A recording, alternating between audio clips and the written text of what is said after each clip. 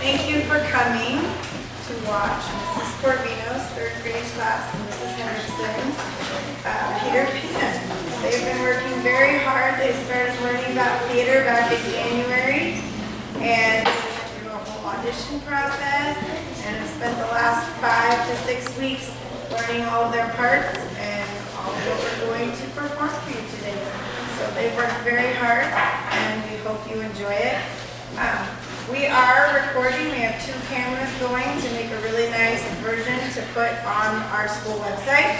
So if you have friends or family that um, couldn't make it, it'll be there. And I also keep it, because I gotta upload it onto the website via YouTube. You can also find it by searching elementary school on YouTube. So that will probably be up during spring break sometime, so I can show them when they come back from spring break. So please refrain though from any flash photography because that can um, startle the students and they, they tend to lose track of their lines rather easily.